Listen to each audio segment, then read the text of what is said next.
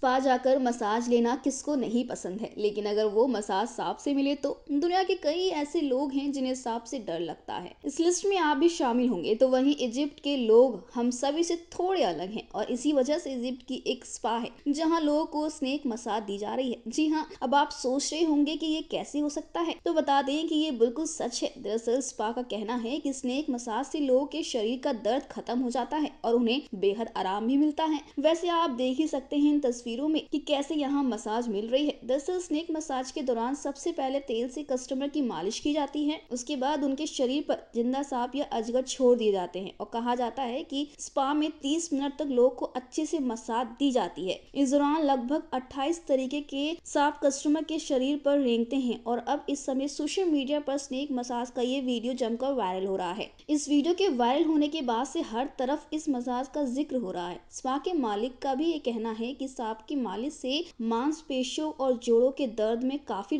राहत मिलती है। और केवल यही नहीं, बल्कि सांप की मालिश लेने वाले ग्राहकों ने अपनी राय भी रखी है। उनका कहना है कि शुरुआत में उन्हें डर लगा था, पर जैसे ही मसाज शुरू हुई, डर खत्म हुआ और दर्द में काफ़ी राहत मिली। इस समय सोशल मीडिया पर भी इसी मसाज के बारे में काफ़ी चर्चाएँ हो रही हैं। रोचक खबरों के लिए यूँ ही जुड़े रहे हमारे साथ। और हाँ हमें सब्सक्राइब करना ना भूलें।